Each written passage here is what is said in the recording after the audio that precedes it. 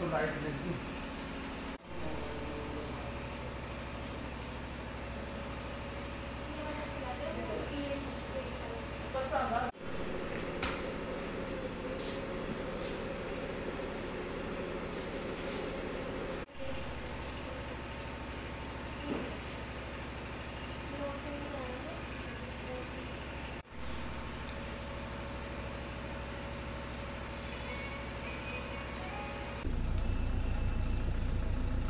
देखिए अभी social media के माध्यम से संज्ञान में आया है कि आ, कुछ कैमरे कहीं से गायब हैं।